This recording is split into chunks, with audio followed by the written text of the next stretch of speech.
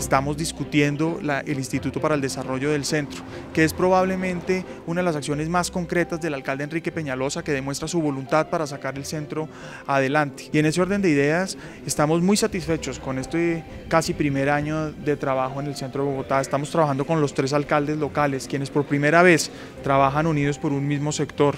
Con la propuesta de crear este instituto esperamos que ese plan de trabajo se pueda hacer porque exista quien tenga esas funciones, dedicarse exclusivamente a mirar el centro y a proponer soluciones y programas para la intervención en el centro. Que podamos pensar el territorio de una manera integral y sin duda alguna el, instituto va a propiciar eso, va a propiciar ese acercamiento, va a propiciar ese trabajo mancomunado. Una agenda donde comunicativamente le vendamos a los colombianos, a los bogotanos y a los extranjeros de que es bueno venir al centro y de que estamos mejorando la seguridad para que ellos estén tranquilos acá.